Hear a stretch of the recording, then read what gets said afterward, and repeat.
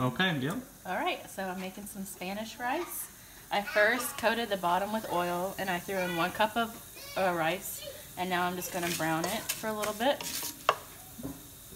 What else do we have on the side here? I have one tablespoon of chicken bouillon and underneath that I have a one tablespoon of uh, tomato bouillon and then one packet of Sazon Goya and then one can of Rotel, a half a small onion chopped, two cups of water, and that's it. Alright. You're just waiting on the rice to turn a little brown. Yep. I guess you can cut Okay, it. so where are we at? Uh, I just browned it lightly.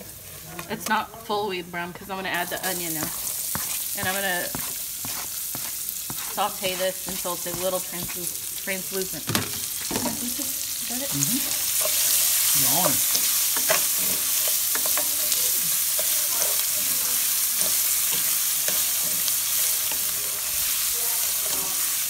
Alright, now the onions are not so much translucent, kind of just softened.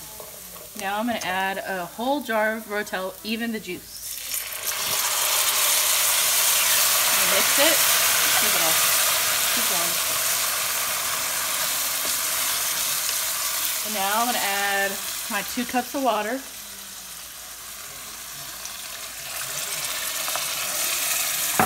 My seasoning my packet seasoning.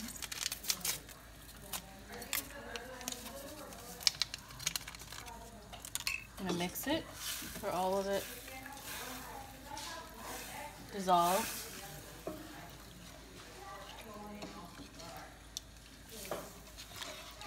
After I mix this, I won't mix it again because then the rice will get uh, mushy and you don't want that. That's gross.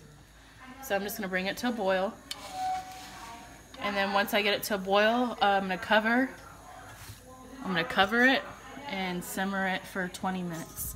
And then after 20 minutes, uh, I'll let it sit for five minutes and then open it and fluff it. So let it sit five minutes with the fire off with the cover on. Yep. Remove from heat. Yep. Alright, Be back in a bit. Alright, so we are at a nice rolling boil. And now all I'm gonna do is cover it and simmer it for 20 minutes. 20 minutes on timer.